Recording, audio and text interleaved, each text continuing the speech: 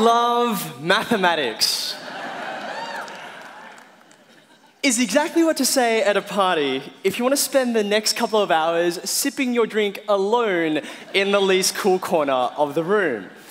And that's because when it comes to this subject, all the numbers, formulas, symbols, and calculations, the vast majority of us are outsiders. And that includes me. That's why today I want to share with you an outsider's perspective of mathematics, what I understand of it from someone who's always struggled with the subject. And what I've discovered as someone who went from being an outsider to making maths my career is that surprisingly, we are all deep down born to be mathematicians. But back to being an outsider, I know what you're thinking. Wait a second, Eddie. What would you know? You're a maths teacher, you went to a selective school, you wear glasses, and you're Asian. now, firstly, that's racist. Secondly, that's wrong. When I was at school, my favorite subjects were English and history. And this caused a lot of angst for me as a teenager because my high school truly honored mathematics. Your status in the school pretty much correlated with which mathematics class you ranked in. There were eight classes, so if you were in maths four, that made you just about average. If you were in maths one, you were like royalty. Each year, our school entered the prestigious Australian mathematics competition, and would print out a list of everyone in the school in order of our scores.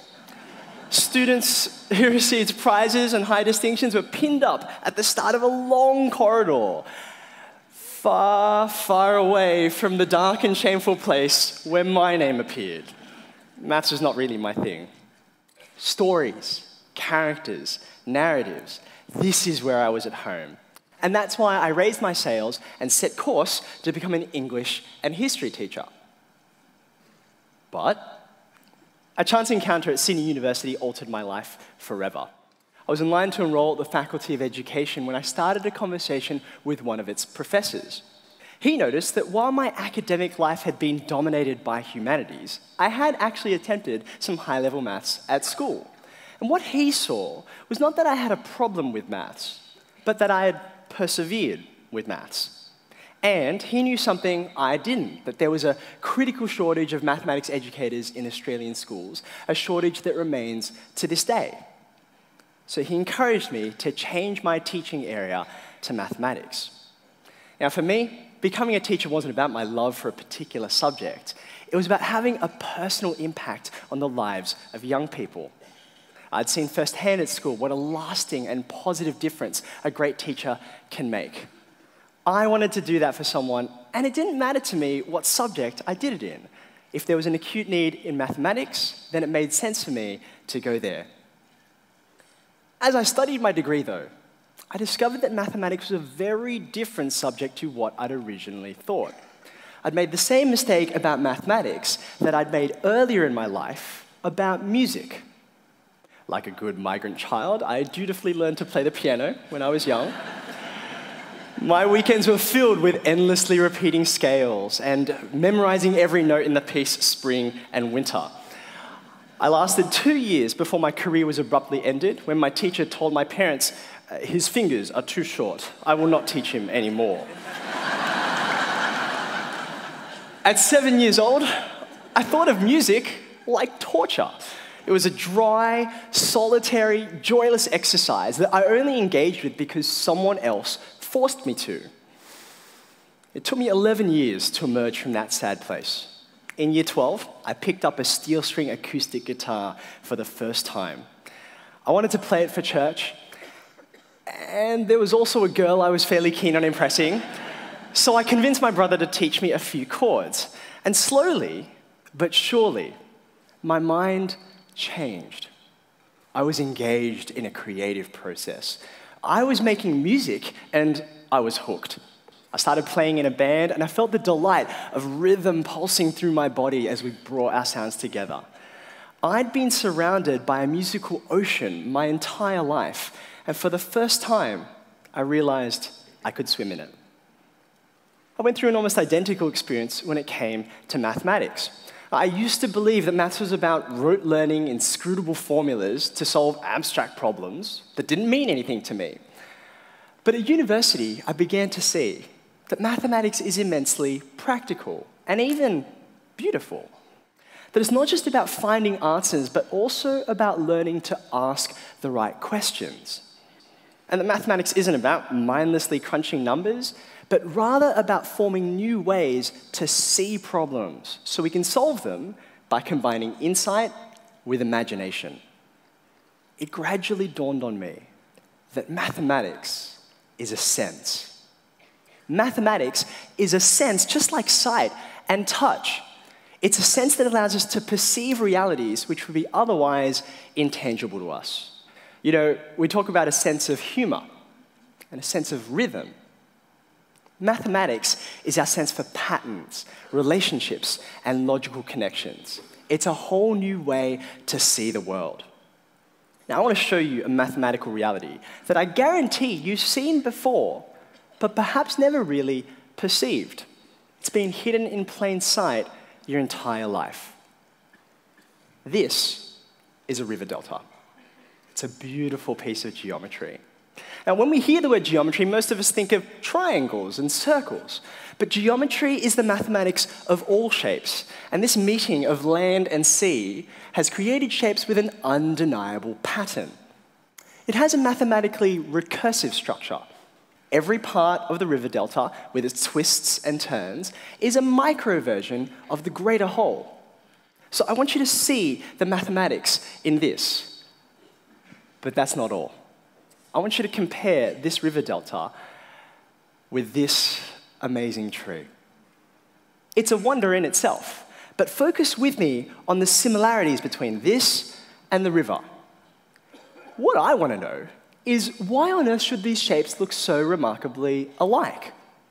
Why should they have anything in common?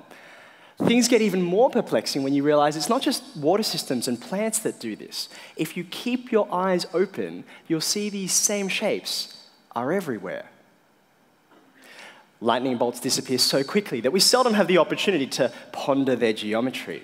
But their shape is so unmistakable and so similar to what we've just seen that one can't help but be suspicious. And then there's the fact that every single person in this room is filled with these shapes too. Every cubic centimeter of your body is packed with blood vessels that trace out this same pattern. There's a mathematical reality woven into the fabric of the universe that you share with winding rivers, towering trees, and raging storms. These shapes are examples of what we call fractals as mathematicians. Fractals get their name from the same place as fractions and fractures. It's a reference to the broken and shattered shapes we find around us in nature. Now, once you have a sense for fractals, you really do start to see them everywhere. A head of broccoli, the leaves of a fern, even clouds in the sky. Like the other senses, our mathematical sense can be refined with practice. It's just like developing perfect pitch or a taste for wines. You can learn to perceive the mathematics around you with time and the right guidance. Naturally, some people are born with sharper senses than the rest of us. Others are born with impairment. As you can see, I drew a short straw in the genetic lottery when it came to my eyesight. Without my glasses, everything is a blur. I've wrestled with this sense my entire life. But I would never dream of saying, well, seeing has always been a struggle for me. I guess I'm just not a seeing kind of person. Yet, I meet people every day who feel it quite natural to say exactly that about mathematics. I'm convinced we close ourselves off from a huge part of the human experience if we do this, because all human beings are wired to see patterns. We live in a patterned universe, a cosmos. That's what cosmos means orderly and patterned, as opposed to chaos, which means disorderly and random. It isn't just seeing patterns that humans are so good at. We love making patterns too. And the people who do this well have a special name.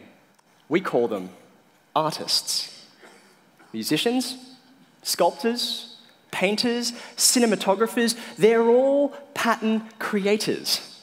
Music was once described as the joy that people feel when they are counting but don't know it.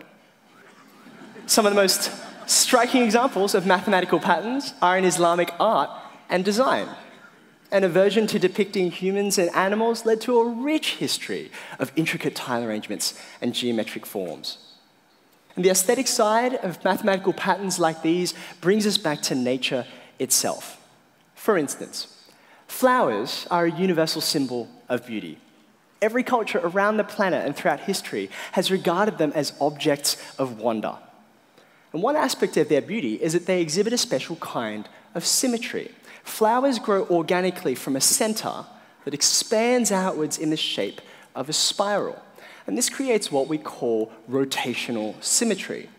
You can spin a flower around and around, and it still looks basically the same. But not all spirals are created equal. It all depends on the angle of rotation that goes into creating the spiral. For instance, if we build a spiral from an angle of 90 degrees, we get a cross that is neither beautiful nor efficient. Huge parts of the flower's area are wasted and don't produce seeds. Using an angle of 62 degrees is better and produces a nice circular shape, like what we usually associate with flowers. But it's still not great. There are still large parts of the area that are a poor use of resources for the flower. However, if we use 137.5 degrees, we get this beautiful pattern. It's astonishing. And it is exactly the kind of pattern used by that most majestic of flowers, the sunflower. Now, 137.5 degrees might seem pretty random, but it actually emerges out of a special number that we call the golden ratio. And the golden ratio is a mathematical reality that, like fractals, you can find everywhere, from the phalanges of your fingers to the pillars of the Parthenon. And that's why, even at a party of 5,000 people, I'm proud to declare I love mathematics.